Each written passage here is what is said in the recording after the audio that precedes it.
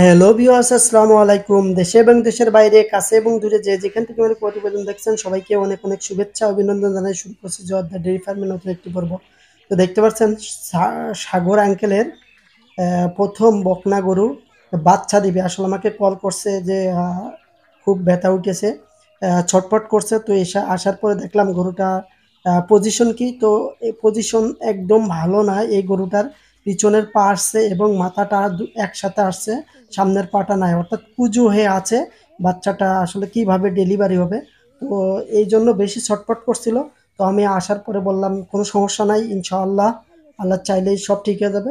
তো আমি হাত দিয়ে আসলে যে কোন দেখি, তখন দেখি যে পিছনের পাটা আসছে। তো আপনারা অনেক সময় এই পিছনের পা চলে আসে, তো সেই ক্ষেত্রে কি করবেন? আপনারা আসলে যারা গাভি ডেলিভারি করেন বা পিছনের পাশে অনেক সময় হতাশ হয়ে যান যে পিছনের পা আসছে তো আপনাদের প্রথম কাজ হবে কি, আপনারা পাটাকে একটু সরিয়ে মাথাটাকে পজিশন করতে হবে। আমি দেখতে পাচ্ছেন খুব মানে এর ভিতর যখনই হয়, অনেক প্রেশার দেয়।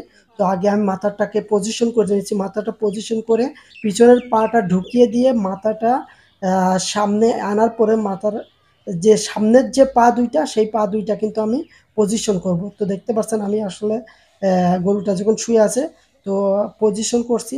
তো এমন অবস্থায় আছে, উল্টে আছে, পুরো সম্পূর্ণ উল্টে আছে এবং পিছনে পা চলে আসছে মাথাটা পিছনে আছে।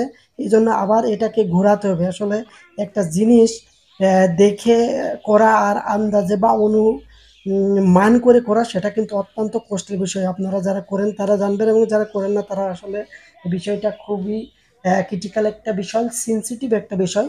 আসলে আল্লাহ শুক্রিয়া যে এগুলো আমি করতে পারি। তো আসার পরে আসলে দেখছেন আমি অত্যন্ত চেষ্টা করছি বাছুরটাকে ঘোরানোর এবং উল্টে যেহেতু আছে সাপ পিছনের পা আসার কারণে এটাকে ঘোরাতে একটু কষ্ট হচ্ছে। তারপরেও আমি চেষ্টা ত্রুটি করি না কোনো সময়। একটা খামারের একটা বাছুর কিন্তু সব সময় এই বাছুরটাই লাভবান হয় এবং এই বাছুরটা যদি কোনো সমস্যা হয়ে যায়, সেক্ষেত্রে একটা খামারই কিন্তু ক্ষতির সম্মুখীন হন এবং একটা বাছুর যখন সুস্থ হয়, একটা খামারের মুখে হাসি ফোটে এবং একটা বাছুর যখন অসুস্থ হয় বা আহ, মৃত হয় বা কোনো সমস্যা হয় কিন্তু খামারের মুখটা মলিন হয়ে যায়। আমি চাই সবসময় খামারের ভালোটা খামারের ভালো হোক সেই ব্যবস্থায় যাই। তো দেখতে পাচ্ছেন আমি খুবই চেষ্টা করার পর এই যে পজিশনটা ঠিক করছি খুবই সুন্দর করে পজিশন করে সামনের পাটা নিয়ে আসার চেষ্টা করছি।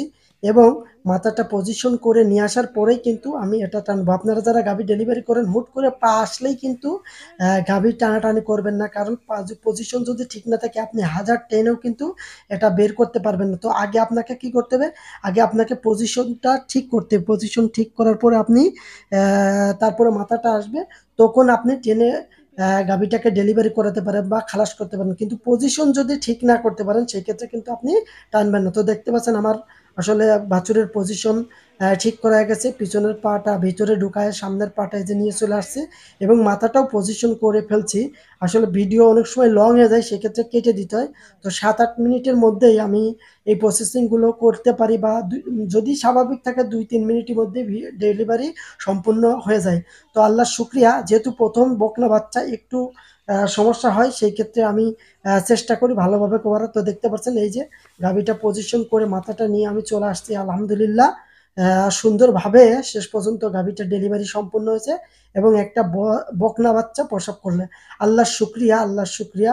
সুন্দর সুস্থভাবে এই গাভিগুলো ডেলিভারি করতে পারে। তো সবাই ভিডিওটি ভালো লাগলে অবশ্যই জোয়ারদার ডেয়ারি ফার্মটি ফলো করবেন এবং লাইক কমেন্ট শেয়ার দিয়ে জোয়ারদার ডেয়ারি ফার্মের সাথেই থাকবেন। সবাই ভালো থাকবেন সুস্থ থাকবেন এই কামনা করে শেষ করছি। আল্লাহ